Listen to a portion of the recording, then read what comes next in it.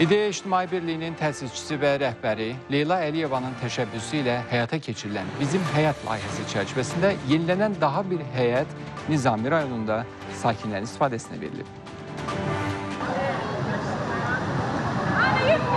Yenilənən həyət Nizami rayonu Bəhruz Nuriyev küçəsi 120, Durov 116 və Qaraqaray prospekti 118 və 120 ünvanlarında 600 nəfər sakinin yaşadığı çoxmərtəbəli binaları əhatə edir. Sanki abadlaşdırılmış bu həyətlər böyük bir idman zallarını xatırladır.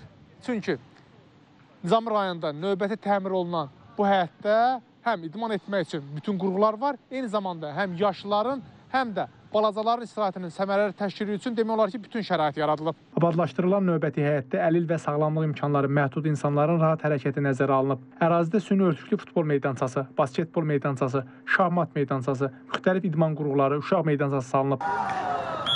Eyni zamanda həyətdə 7 söhbətgah, çoxsaylı oturacaqlar, tulantılar üçün qutular, quş və pişik evləri quraşdırılıb. Bundan başqa sakinlərin təhlükəsizliyinin təmin edilməsi məqsədi ilə ərazidə müşahidə kameraları və yağın hidratları quraşdırılıb. Bu gözəllikdə yer var.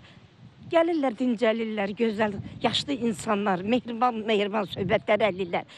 Gözəl uşaqlarımız dincəlir, nəvələrimiz dincəlir.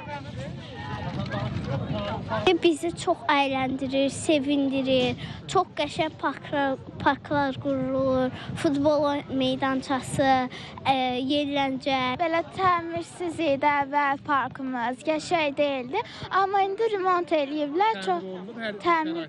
Bəli.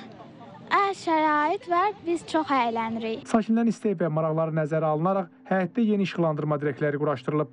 Binaların fasadları, dam örtükləri və giriş hissələri tam təmir olunub. Bloklar yeni dəmir qapılar və plastik pəncərələrlə əvəzlənib. Çox sevinirik bu gün bu məhlə, abad məhəlləmizin açılışı üçün.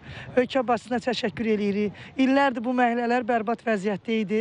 İndi çox sevindiricidir. Düzdür, bizə ikinci Ulu Öndərin adını daşıyan ikinci Heydər Parkı yaxın da olsa, yaşlı insanlarımız var, körpə uşaqlı qadınlarımız var. Çətinlik çəkirdilər yol keçərkən. İndi bura sevindiricidir ki, ən azından evindən düşür həyətində uşaq istirahət eləyə bilir, özləri istirahət eləyə bilir. Həyətin ərazisindəki mövcud yaşıllıqların bərpası ilə yanaşı əlavə olaraq 260 ədəd ağac və 15 minə qədər müxtəlif gül kolları əkilib və 2400 kvadrat metr sahədə yaşıllıq zolağı salınıb. Bununla yanaşı həyətin ətrafında sıx bitən və hava çirklənməsini effektiv şəkildə azalda bilən adi daş sarmaşığı və digər sarmaşan bitkilər əkməklə yaşıl sədlər yaradılıb.